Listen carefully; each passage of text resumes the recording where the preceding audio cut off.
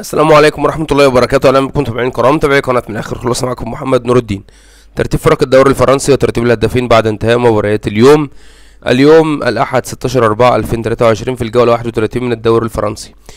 اليوم ليل فاز على مونبليه 2 1 أحرز أهداف ليل جوناثان ديفيد في الدقيقة 70 ريمي كابيلا في الدقيقة 72 هدف مونبليه عن طريق إيسياغا سيلا في الدقيقة 24 أوكسير فاز على نانت 2 1 أحرز أهداف أوكسير.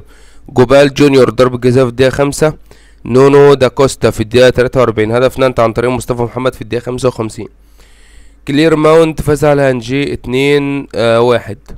ستراسبورغ فاز على أجاكسيو 3 واحد. بريست فاز على نيس واحد صفر. موناكو فاز على لوريان تلاتة واحد. عندنا مارسيليا فازت على تروا تلاتة واحد. أحرز هدف مارسيليا. فيتور كارفالهو في الدقيقة التانية جنغيز أوندير في الدقيقة أربعين.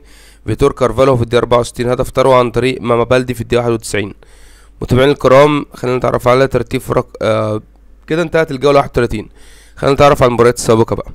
بدأت الجولة يوم الجمعة 14 4 2023 تولوز خسرت من ليون 1 2 وأمس السبت 15 4 2023 رين فازت على استاد ريمس 3 0 وباريس سان جيرمان فازت على لانس 3 1 خلينا نتعرف على ترتيب فرق. آه الدوري الفرنسي وترتيب الهدافين.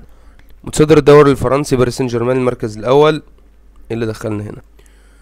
متصدر الدوري الفرنسي باريس سان جيرمان المركز الأول 72 نقطة. مارسيليا المركز الثاني 64 نقطة. لانس المركز الثالث 63 نقطة. موناكو المركز الرابع 61 نقطة. ليل المركز الخامس 55 نقطة. رين المركز السادس 53 نقطة. ليون المركز السابع 50 نقطة. ستاد ريمس المركز الثامن 47 نقطة. نيس المركز التاسع 45 نقطة. لوريان المركز العاشر 45 نقطة. كليرمونت المركز 11 43 نقطة. تولوز المركز 12 38 نقطة. مونبليه المركز 13 37 نقطة. أوكسير المركز 14 32 نقطة. نانت المركز 15 31 نقطة. بريست المركز 16 31 نقطة. ستراسبورج المركز 17 29 نقطة. تروا المركز 18 21 نقطة. أجاكسيو المركز 19 21 نقطة. أنجيل المركز 20 والأخير 14 نقطة.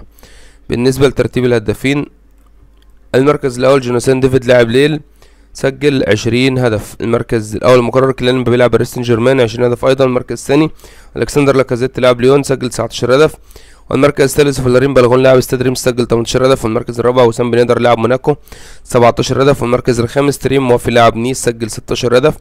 والمركز السادس حبيب ديالو لاعب ستراسبورغ سجل 15 هدف. وليونيل ميسي لاعب باريس سان جيرمان ولويس اوبندا لاعب لانس. وبالنسبة بقى لصناع الأهداف ميسي متصدر صناعة الأهداف لاعب باريس صنع 14 هدف المركز الثاني نيمار دا سيلفا لاعب باريس سان جيرمان صنع 11 هدف والمركز الثالث كايو هنريكي لاعب موناكو صنع 9 أهداف والمركز الرابع براكو برانكو دا فان دن بومن لاعب تولوز صنع 8 أهداف وفلوريان سوتوكا لاعب لانس وكلوس لاعب مارسيليا اشترك في القناة وفعل زر الجرس زي ما الفيديو كان معكم محمد نور الدين السلام عليكم ورحمة الله وبركاته.